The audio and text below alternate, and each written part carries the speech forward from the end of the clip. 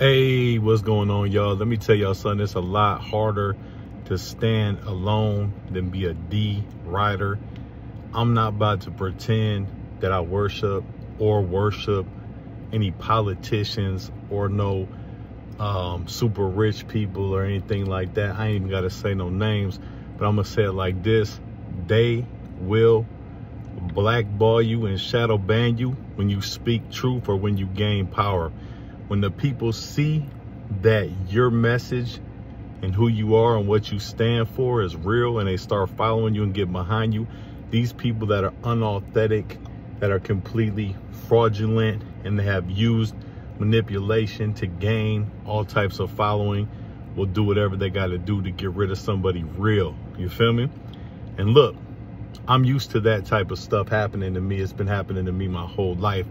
Always been real, always ended up winning because I was real and always seen the fakes come together, the people that really ain't got it, the people that fraudulate and perpetrate and act like they something they not. They've always came together to try to destroy me in some way, shape, or form.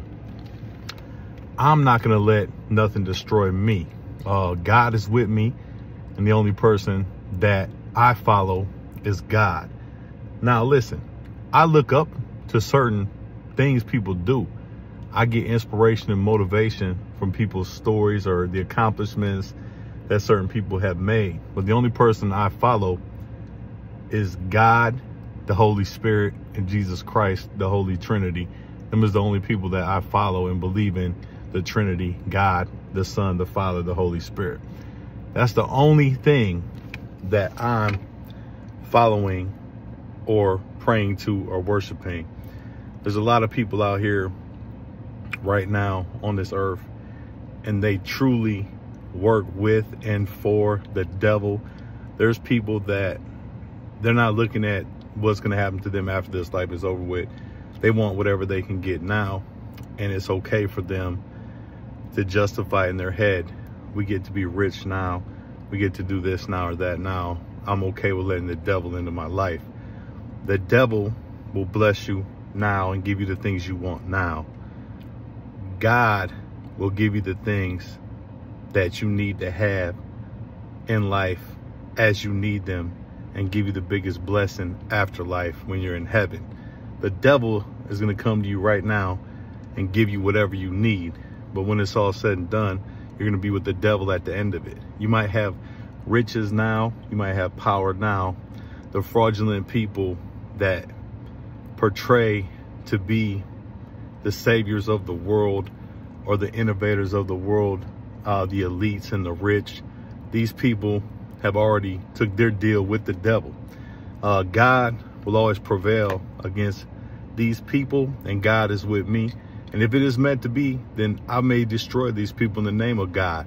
You never know what could happen or what will happen. At this moment, I'm just about building my brand, um, building the movement, bringing positive people together and continuing to push the greatness movement, which is about positivity, knowledge, God, uh, teaching other people how to get wealth, giving back to other humans, putting the human back in humanity. But I want everyone that's watching this to understand and know, in case you don't, the devil is 100% real. God is 100% real. And when you're jealous or you're hateful or you have desires and you're envious of others, that opens doors for the devil.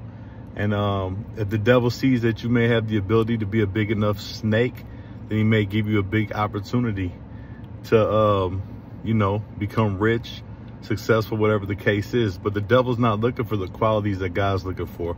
The devil is looking for the backstabbers and the people that are willing and able to do anything they can. Understand that.